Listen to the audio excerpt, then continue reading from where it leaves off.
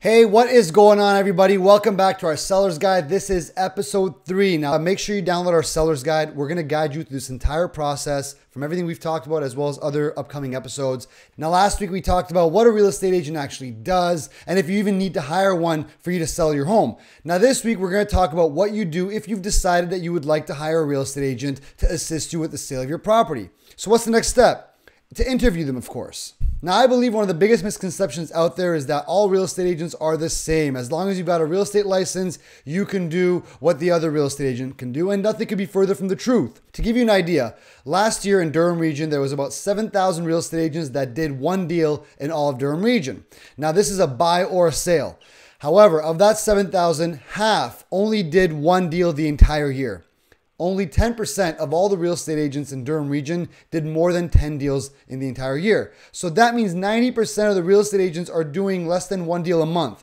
Now, this is not a knock on any agents or about their production levels. It's just you need to understand what a real estate agent is going to be doing when they're selling your home. Now, as a real estate agent that has been involved in five transactions the entire year, going to have the exact same market knowledge and experience, systems in place, marketing budget that somebody that did 20 to 30 to 50 deals in the entire year. So this is something you have to take into consideration when you're hiring a real estate agent. Now, it doesn't mean you have to go with one or the other. It's about asking and finding out and picking one that you're comfortable with. Now, how many agents do you meet with? I personally say three. Anything more than that, you might go through some analysis paralysis. However, this is one of the most expensive assets you're ever going to own. So you interview however many agents you need to before you find somebody that you're comfortable with. A couple years ago, I actually met with a family of five and I came back three separate times to meet with them. And when they ended up hiring us, they told me that they had interviewed seven different real estate agents. Now, again, I thought that was a bit much. I felt like I was on an episode of Dragon's Den talking to five different decision makers. However, they did what they felt was necessary to hire someone that they were 100% confident with. So, first and foremost, you want to find out are you a part time agent or are you a full time agent? You'd be surprised how many people uh, will sign with a real estate agent and then page them, and they won't get a call back until the next day saying, Oh, sorry, I was at my other job. All right. So, you want to know about this before you actually sign with them and commit to a real estate agent. Now, second, you want to find out what they're charging. It's obviously extremely important aspect of selling your home is how much they're going to charge you. You always got to keep in mind you get what you pay for. And again, as I said with the stats earlier, a lot of the people who are cutting their commissions are doing it for cheaper because A, they have another side job or they have another full-time job actually, and they're doing this as a side job. And you have to always keep in mind if a real estate agent is willing to cut their commission to a certain amount, Where's that coming out of their budget? Is it going to come out of their marketing budget to get your property exposure? Or is it going to come out of their budget for their personal income to cover their mortgage and their car payment and feed their family?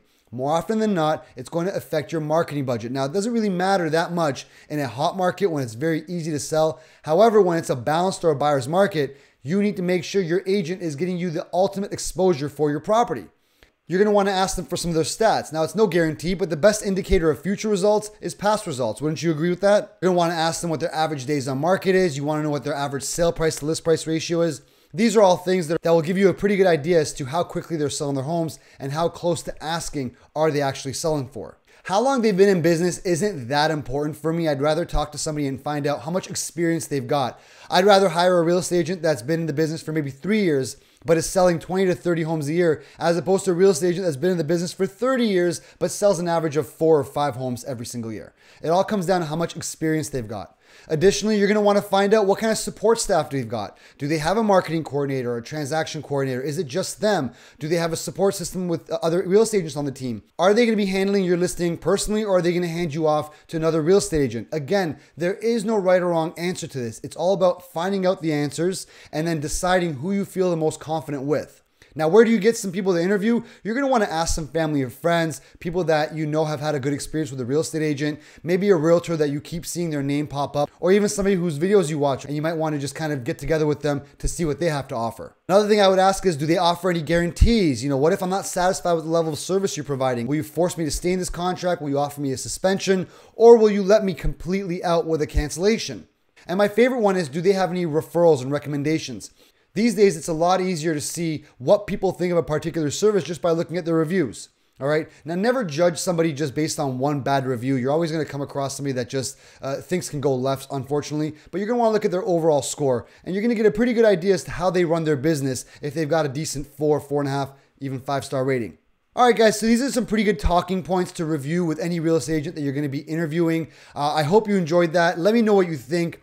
And let me know how did you guys decide the last real estate agent you hired to help sell your home? Was it a referral? Did you interview? I'd love to hear some of the experiences you've had. I hope you enjoyed that. Please like and share if you liked our video. And as always, we'll talk next time. Yalla bye.